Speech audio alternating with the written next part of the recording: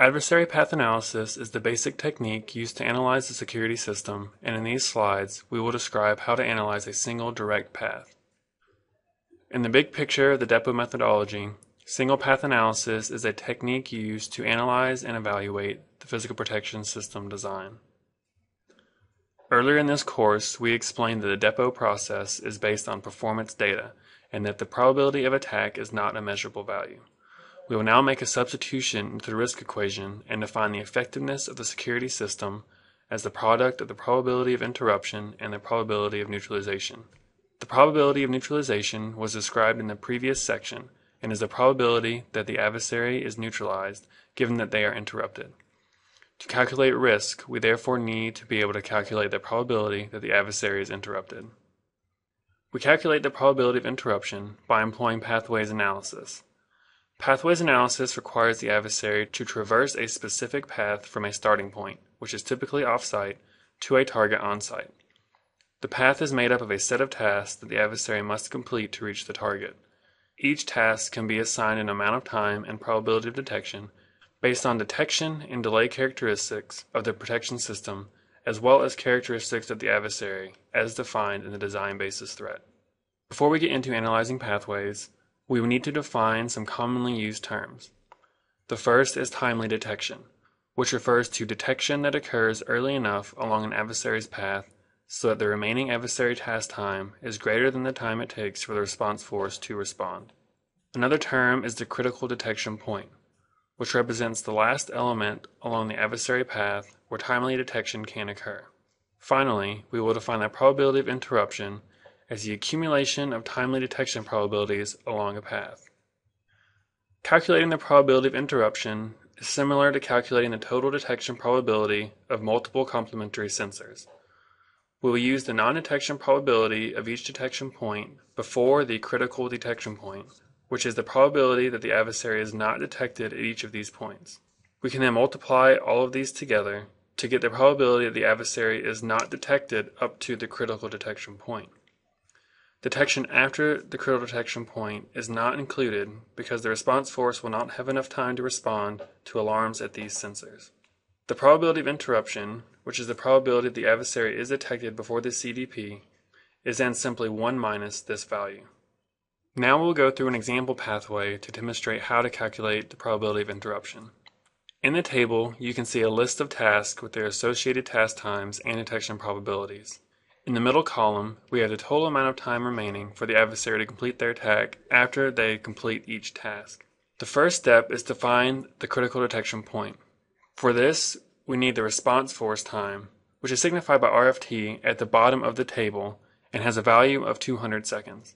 Now look at the time delay remaining column and notice that after penetrating the wall, there is only 105 seconds left in the adversary's attack path. This means that if the adversary is not detected before completing this task, the response force will not be able to respond in time to stop them. The last point of time of detection is therefore before the adversary reaches the wall. We can now determine the probability of interruption using the non-detection probabilities for the first four tasks. The calculation is shown at the bottom of this slide and results in a non-detection probability of 0.28812. Pi is just the inverse of this and is therefore 0.712. This means that the guard force has a 71.2% chance of interrupting the adversary if the adversary chooses to take this path. On the next few slides, we will change some parameters of the protection system and show how this affects the value of the probability of interruption. In this table, we have the same pathway, but have added a better detector to the outer door. This does not affect delay times and therefore has no effect on the critical detection point, but it changes the non-detection probability to 0.1729. Thus, this detector upgrade has improved the probability of interruption from 0.712 to 0.827. In this table, we again have the original pathway, but this time have added protection at the pump, which has increased the delay from 35 seconds to 140 seconds. Referencing the time remaining column, this upgrade changes the critical detection point to before running to the inner door. As a result, the detection elements up to this task are included in the interruption probability, which changes the non-detection probability to 0.0706 and the interruption probability to 0.929. In this table, we again have the original pathway, but have improved the response force time from 200 seconds to 80 seconds. Similarly to increasing the delay at the pump, this shifts the critical detection point to before the inner door is breached. Because we include all detectors up until the critical detection point, this upgrade yields the same result as the previous example, giving a non-detection probability of 0.0706 and a probability of interruption of 0.929. In summary, the probability of interruption is used to determine the effectiveness of the security system along with the probability of neutralization. We quantify it using detection and delay elements of the security system as well as characteristics in the design basis threat. The probability of interruption can be improved in a number of ways. By adding or improving detection before the critical detection point, increasing delay after the critical detection point, or decreasing the time it takes for the response force to respond. The analysis techniques presented here analyze a single pathway.